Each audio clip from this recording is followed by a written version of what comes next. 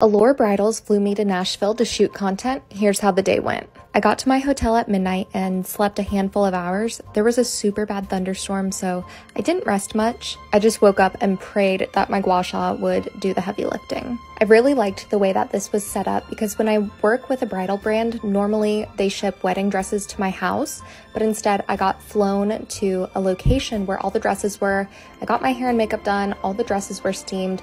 It was honestly really fun. Made two TikToks, then I had a snack break filmed the third one and then we broke for lunch, which was Panera. Haven't had that in forever and it was so good. After I finished shooting the third TikTok, I got all of my footage over to the editor just in time for it to start torrential downpouring. So rain is actually a fun change of pace, but not when it's like this. My Uber driver had a dog in the back seat, which was a really funny surprise. Overall, I was in Nashville for like 17 hours and it was a good shoot.